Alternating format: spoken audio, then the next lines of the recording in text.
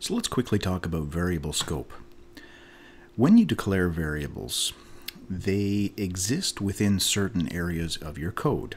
So if I was to create a variable here called name, and let's say I assigned Aragorn as the value. That's the string for this variable. And then I've got another function here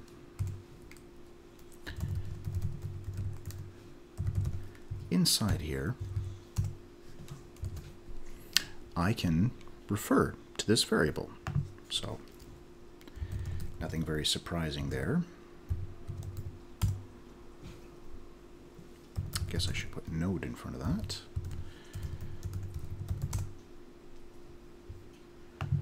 There we go.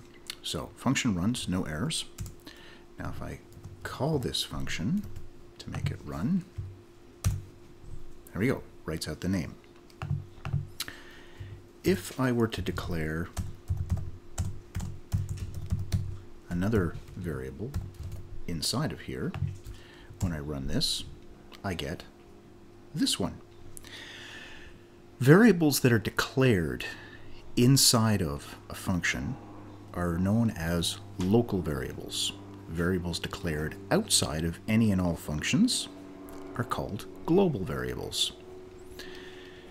If we were to remove this and place this command down here,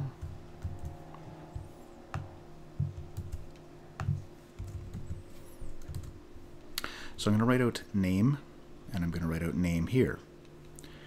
So the variable name is going to be declared globally with this string, then we're going to declare our function, and then we're going to say write out this variable.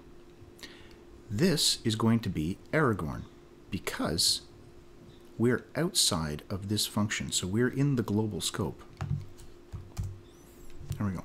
So Aragorn was the first one, and then when the function x ran, the variable name locally became Gimli. It was written out that way. So let's see what happens if we run the function before and after. Okay, so Gimli, Aragorn, Gimli.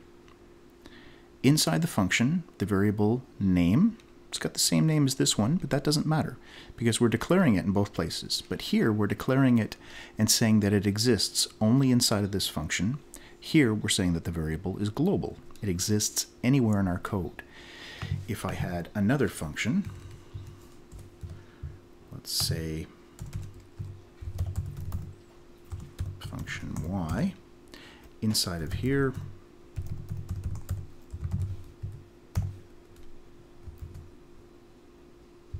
and I can even put this down at the bottom. It's not going to make a difference. Okay, so we're declaring Aragorn as the value of the variable name in the global version of the name. We're running the function x, which is creating a local variable called name. We're assigning this to it, and it's going to write out Gimli. Then we're going to write out the global variable name, Aragorn, and then this one's going to run. And it's going to get to this point, it's going to say, okay, I don't have a variable called name within my scope. Inside my local scope, there is no variable name. It will then jump up to the global scope and look outside of all the functions for Aragorn. So we run this now. Gimli is the first one, Aragorn, and then the second one, Aragorn. So this is the original way that JavaScript was set up to deal with variables. They're either considered to have global scope, meaning they can be accessed from anywhere, or local scope, meaning that they exist only inside of the function where they are declared. Now, one interesting side note here is that if you leave off var, this is going to look to see, do you have a local variable named Gimli inside of here? No?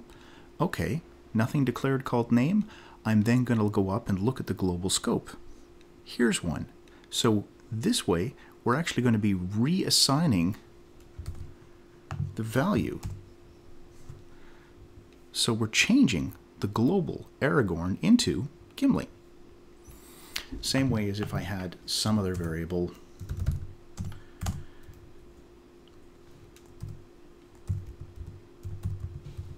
like that. Another variable. Now this is the only place that I'm writing the term other, but because I haven't used the keyword var, JavaScript interpreter is going to look at this and say, it's not declared here, I'm going to go up to the global scope. In the global scope, it doesn't see it, so it's going to create it at that point. So we're not going to get an error at this point. It's just going to say, yeah, at the local at the global scope, there is a variable being created called other. So y, which runs at the very end after function x runs,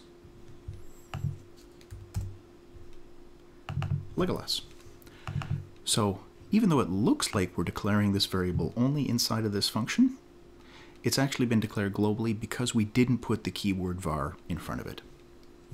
And that's it. That's variable scope, global and local.